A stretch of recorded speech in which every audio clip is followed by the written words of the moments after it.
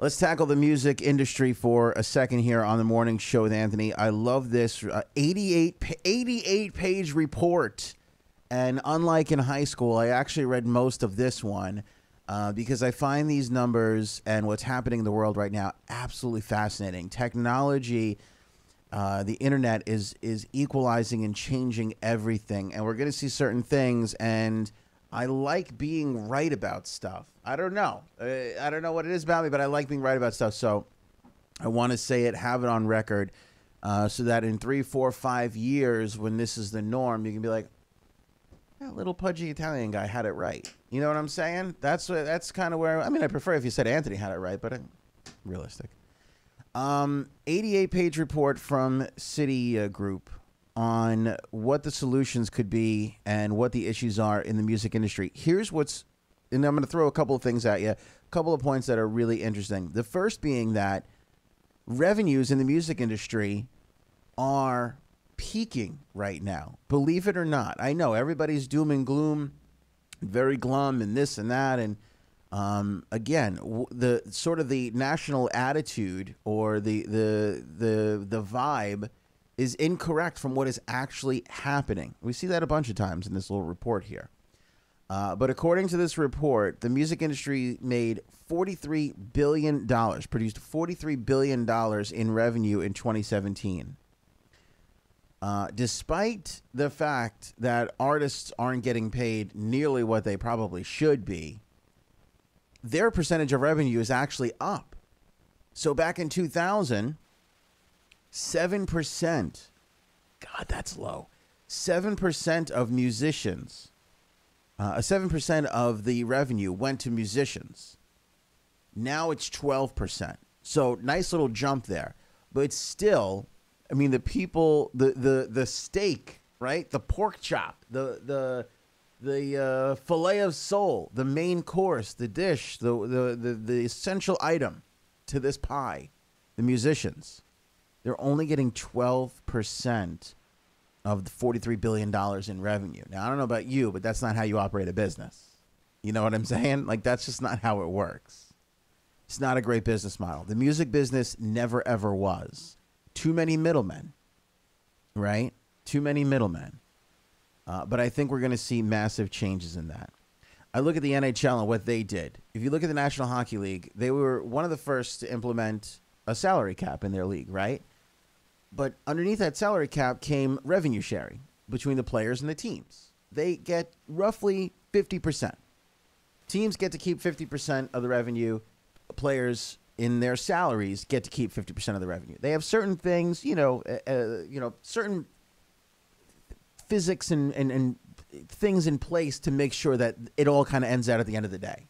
And then they go back and they analyze their business. And as it turns out that the teams made more than what the players made, then the teams pay out out of this fund that they both put money into to make sure it all evens out at the end of the day. That's a good business model. They made sure that their product was taken care of, right? the music industry it doesn't have a union it's not like players it's a little bit different there's a lot more musicians than there are professional hockey league players they're not going to be able to get that done but you've got to get to a better place than 12% because that's not how you succeed it's just not a good business model overall you can't have the main driving force only getting 12% by the way if you read this 88 page report you'll find out that a lot of that does come from touring that is a uh, you know sort of vibe or feeling that is actually true. The reason why revenues are up so much is because of the increased touring. Bands are making more money out on the road. There are more shows. You look at Long Island, there's never been more venues, indoor or outdoor, than there are right now. There's never been more music festivals in the area. Um, it's an explosive time. People are making money, and it's going to continue. By the way, we, the public, we're spending more money. We are consuming more music. We're going and experiencing more things live. And maybe that's because we're not shelling out $20 for a CD anymore or $30 for an album. We got that extra $85 at the end of the month to go and see a show instead. I don't know what it is, but that's just a, a case of what the issues are. That's what's happening. We are going to see, we are consuming more music we're not paying for CDs uh, and the likes as much. Here's another thing that I want to put out there because I, I feel like, like, again, what the vibe is, is one thing, and what is actually happening is something else. What do you hear in the world? Radio's dead, right? Radio stinks. Radio this, radio that. Radio is still more responsible for music consumption than anything else. Anything else.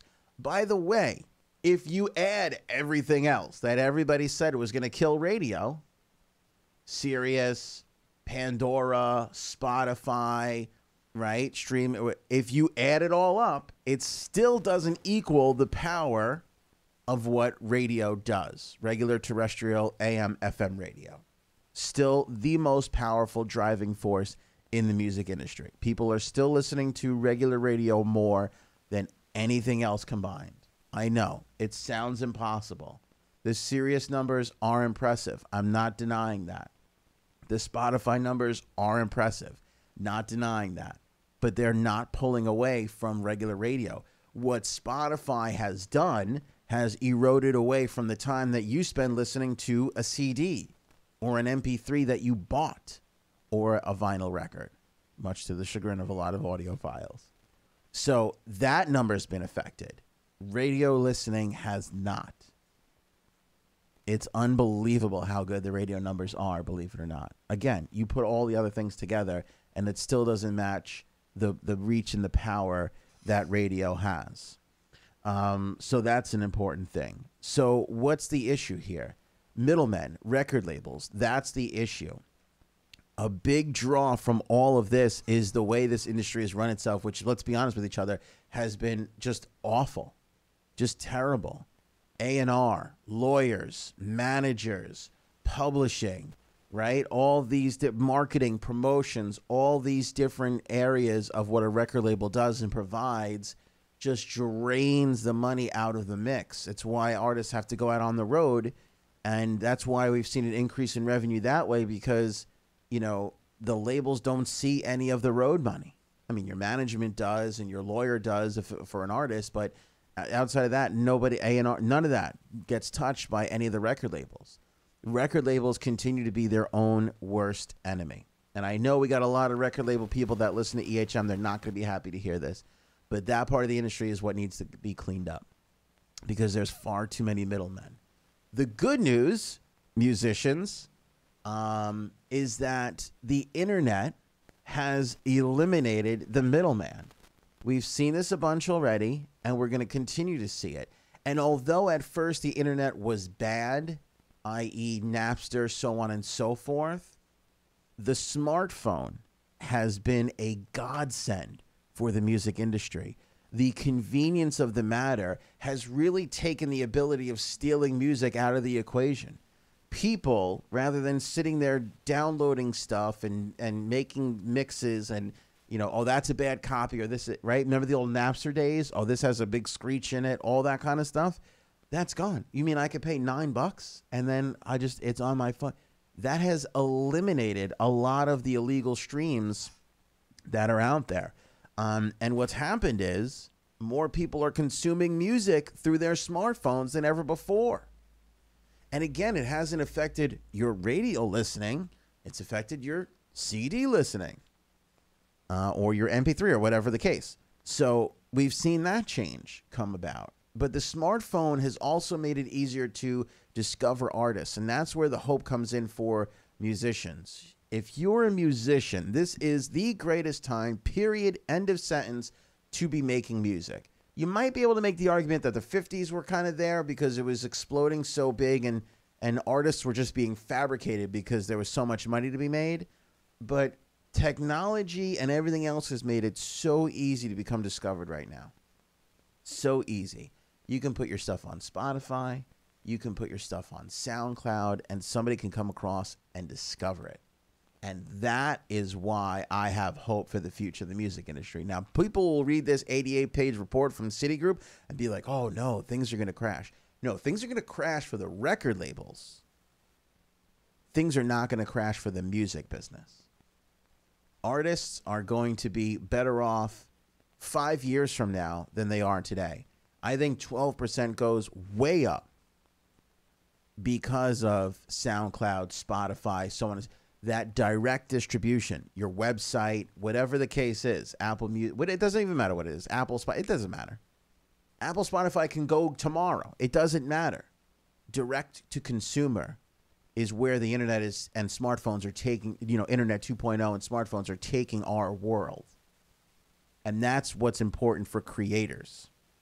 Whether you're a filmmaker or a radio person or a musician, creators can go directly to people now.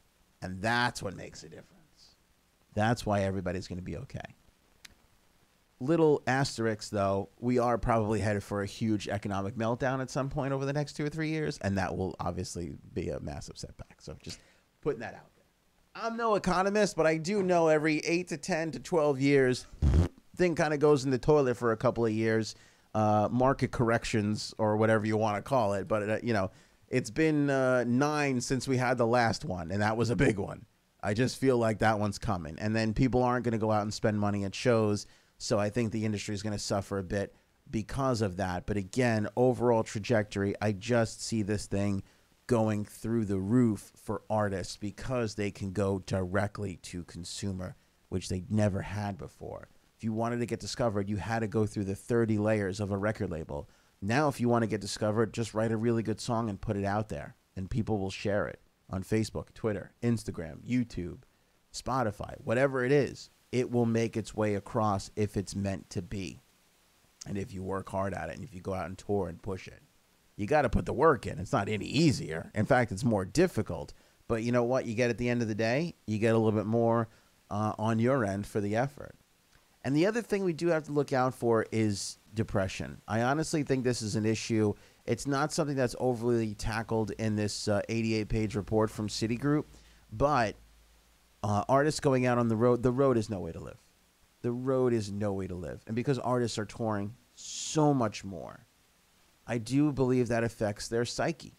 You know, I mean, you can't point to anything specifically, but, you know, like Demi Lovato and you look at uh, uh Anthony Bourdain and, you know, you look at some of these situations and some artists that have come out and said, you know, there's artists that are out there that are speaking openly against this. The guy from Passion Pit, uh, you know, ha- has been speaking a lot lately. What's his name? Angel Michael Angelakos has been speaking a lot lately on the dangers of the music industry and touring relentlessly, and how that can have a drag on a person's, you know, psyche. So that's another little thing you got to look you got to look out for. But again, as Internet 2.0, smartphones, social media, I think sort of starts to even the balance a little bit, I think things will improve for musicians for sure.